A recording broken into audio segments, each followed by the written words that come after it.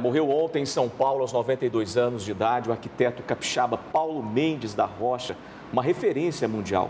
Ele desenvolveu projetos relevantes em Goiânia. A Adriana Bueno tem mais detalhes.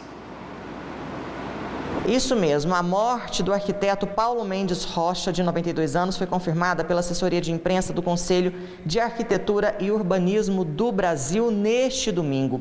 Paulo foi um dos arquitetos mais consagrados do Brasil.